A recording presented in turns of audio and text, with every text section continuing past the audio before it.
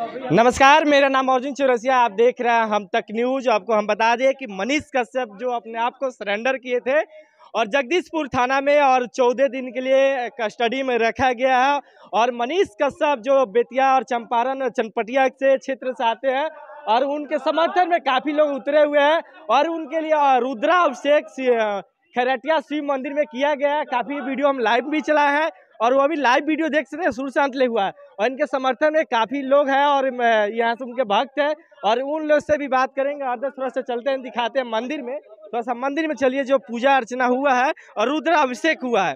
और आइए, काफ़ी संख्या में हम पंडित जी भी हैं, इनसे भी बात करते हैं। और थोड़ा सा अंदर के दृश्य दिखा दीजिए, आप आ जाइए और पंडित जी से हम थोड़ा सा बातचीत करेंगे और इनसे पूछेंगे, मनीष कश्यप जी के लिए क्या क्या उन्होंने किया और भगवान शिव शंकर जी से उन्होंने क्या किया क्या क्या अर्चना भी लगाई?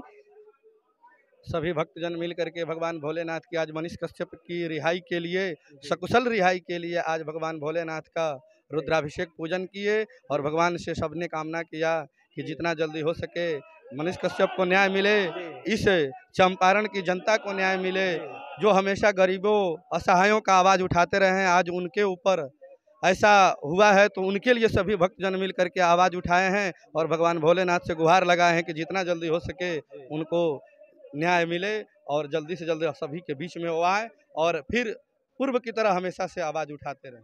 जी जी।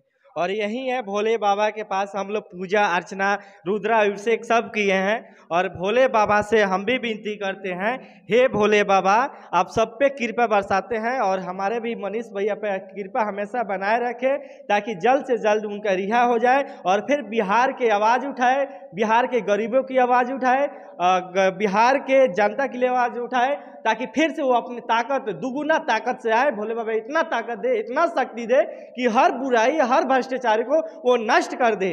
और आइए सभी उनके समर्थन में उतरे हुए हैं, बाहर हैं, जो कि अब इनसे भी बात करते हैं और उनके साथ देख सकते हैं, बैनर के साथ हमारे सबसे ज़्यादा अमित भैया इसमें भैया आप रुद्राभिषेक के शिव मंदिर में कराए हैं। तो आप कैसा लगता है? क्या कामना कर रहे हैं मनीष हम लोग देखिए जो लड़का हमेशा बिहार के लिए आवाज़ उठाता है गरीबों के लिए आवाज़ उठाता है मजदूरों के लिए आवाज़ उठाता है अब उसको ये फंसाने की कोशिश की जा रही है तो ये कहीं से सही नहीं है।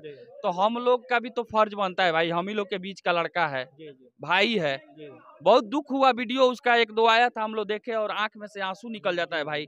उसके ऊपर जो आप बताइए उसके ऊपर जो एफ़ आई आर हुआ है घर बनवाने के लिए हुआ है कि खेती खेत खरीदने के लिए हुआ है। उसके लिए अपने लिए उसके ऊपर केस हुआ है। दूसरे के लिए लड़ाई लड़ रहा है उसके उपरांत उसके ऊपर केस हुआ है।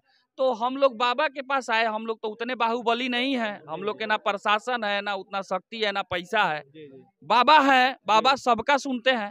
तो हम लोग बाबा के पास आए अर्जी लगाए हैं कि भैया मनीष कश्यप जल्दी रिहा हो जाए।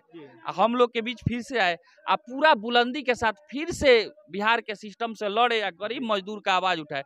तो हम ये भी कहेंगे जितने लोग इस वीडियो के माध्यम से देख रहे हैं सबको यही कहेंगे कि आप लोग जिस धर्म से हो भाई इसको धर्म से मत तोलिए। क्योंकि आप जिस धर्म से हो गॉड को मानते हो अल्लाह को मानते हो जिसको मानते हो अपने अपने मतलब जो भी गॉड हैं अल्लाह हैं भगवान हैं सबसे गुहार लगाइए कि मनीष का जल्द से जल्द रिहाई हो जाए और आए बेचारा बहुत अच्छा आदमी है भाई कलेजा फट जाता है उसका जब वो दृश्य जब उसके साथ वैसा होता है तो और लोग अपना सोचे ना उनके साथ क्या हो सकता है। तो बाबा से हम लोग अर्जी लगाए हैं कि जल्द से जल्द मनीष की रिहाई हो और सही सलामत हम लोग के बीच में आए और फिर ज़ोर शोर से आवाज़ लगाए। मनीष कश्यप जिंदाबाद जिंदाबाद जिंदाबाद। मनीष कश्यप जिंदाबाद। जिंदाबाद जिंदाबाद।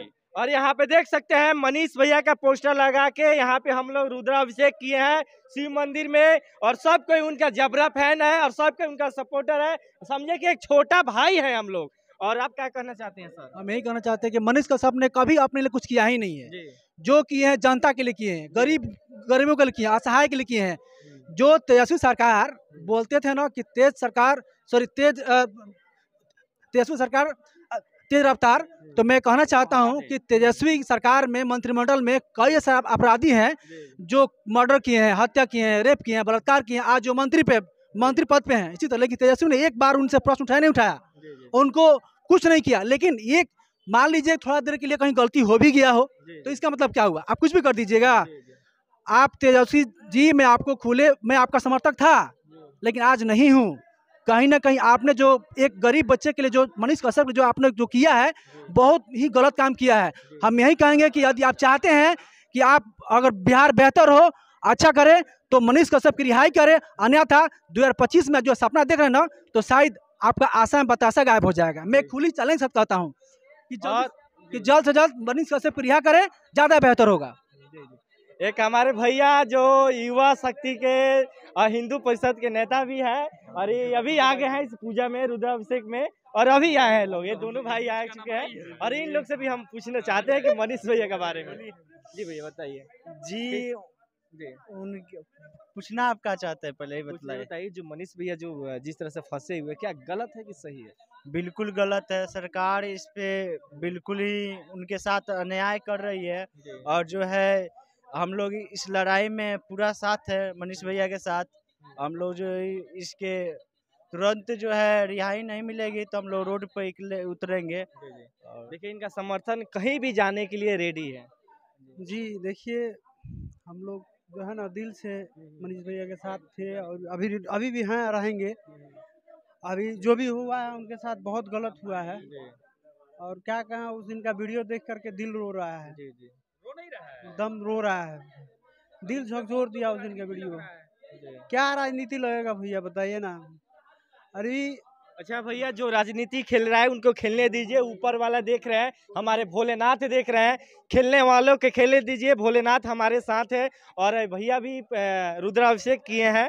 बताइए भैया आज जो हम लोग रुद्राभिषेक का आयोजन किए हैं वो मनीष जी के रिहाई को लेकर किए हैं। आज तक मनीष जी जनता के गरीबों का आवाज़ उठा रहे थे सिस्टम से लड़ रहे थे सबकी आवाज़ बन रहे थे। आज उन उन पर जब मुसीबत पड़ा है तो आज हम लोग का फ़र्ज़ है कि हम लोग मनीष कश्यप जी के लिए आवाज़ उठाएँ। भगवान से प्रार्थना करें महादेव से कि जल्द से जल्द वो रिहा हो जाए और जिस तरह वो गरीबों का आवाज़ बन रहे थे और फिर गरीबों का आवाज़ बने और बिहार का नाम रोशन करे देश का नाम रोशन करे आगे बढ़े और सबकी उम्मीद उनसे बहुत ज़्यादा है और चंपारण के लोग के विशेष उनसे उम्मीद है। और हम लोग चाहते हैं कि बाबा उनको जल्द से जल्द रिहा करे और वो आगे काम में फिर लग जाए। देखिए बिहार के सभी जनता से मैं एक निवेदन करना चाहूँ अपने एक दिल पर हाथ रखिएगा सच्चे दिल से। और याद कीजिएगा पिछला वीडियो जितने बना है कि मनीष कश्यप जी किसके लिए आवाज़ उठा देते? जरा एक बार ध्यान देना होगा।